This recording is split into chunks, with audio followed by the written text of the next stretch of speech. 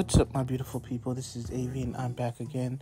This time, scanning in the pages for my Grief zine, um, Good Grief. Uh, as you know, I've mentioned in previous videos, I am putting together a slide presentation for an artist talk later this month, and so many of the new pages need to be scanned And I have a really simple um, setup. I have an Epson scanner, uh, which I link to my Surface Pro and just scan the individual pages in uh, using the software that comes with the scanner.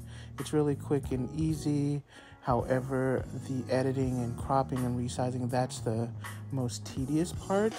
Uh, I'm super grateful to ha- even have this, however, so I'm not complaining, but it is a lot of work and it's time consuming. Um, but yeah, so I basically just scan it in page by page. Um, stay tuned as uh, I'll share a few more pages as I scanned in. I have several newer pages to scan in, so I'll upload a few of those. But yeah, um, just scan it in, make sure that everything is visible on the page, and then move on to the next one. Thank you guys so much for watching.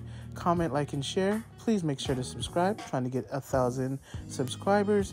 You guys are awesome. So, like I said, thanks for all the support. Join me on Patreon, on Facebook, Instagram uh, threads and TikTok.